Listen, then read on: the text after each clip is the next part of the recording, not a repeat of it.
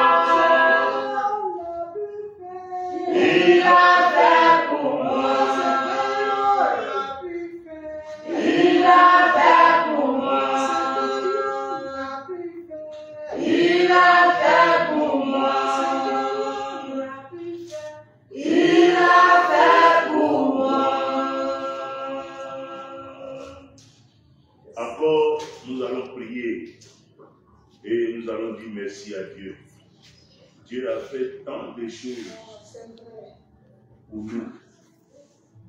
Nous n'avons pas idée de toutes ces grâces.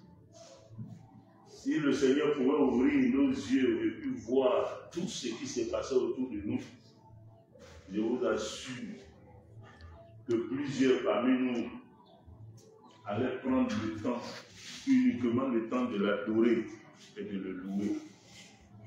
Ah,